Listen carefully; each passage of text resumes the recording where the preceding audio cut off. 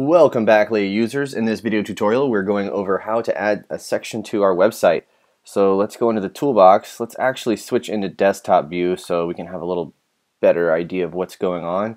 We'll go back into the toolbox. We're going to scroll down to add something. Now you will need an upgrade to Leia Pro or Leia Business in order to access this add something tool. Let's add a section. Alright, let's give it a section name. Let's just call it our new section. Uh, this is going to be the title of the section. This explains how the columns work and it explains that if you're viewing on mobile that the columns will stack vertically um, but since we're in the desktop view we'll actually see what it's going to look like on a desktop.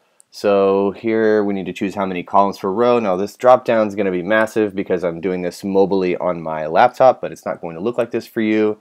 Let's just do two columns per row and let's just do let's do three rows. Excellent. And then you can choose the type of background as well you can also go back in and edit this in the future if you decide you don't like it the way you've picked now. Let's go ahead and choose a color. It will default to white. Let's go next. So here's where we choose the elements we would like in each column.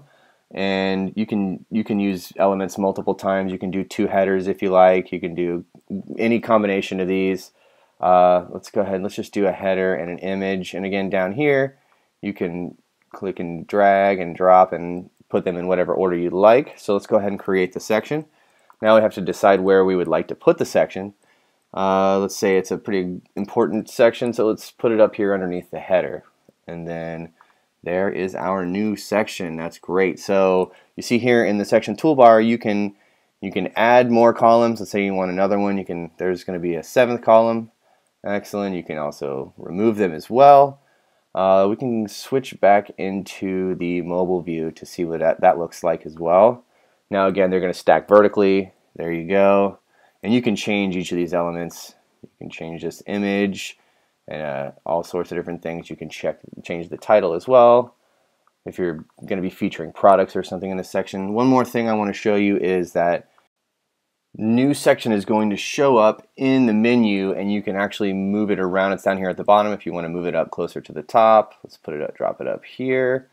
Put it right there. That's great. And let's also check out, if we open up the menu, we can also see that it is going to be down up. It's actually up here because I moved it up here. So let's see the link. The link to that section is actually going to be a pretty long, interesting string. So if you want to for example, build a button to lead to this section, you're going to want to copy this long uh, pound or hashtag and then all this, this long random string. That's how you're going to link to this section. All right, that looks like about it for adding a section. Please check out our other tutorials on how to use our many other tools. And if you have any further questions, please email us at leia at vybesoftware.com or visit heyleia.com slash contact. Thanks for watching.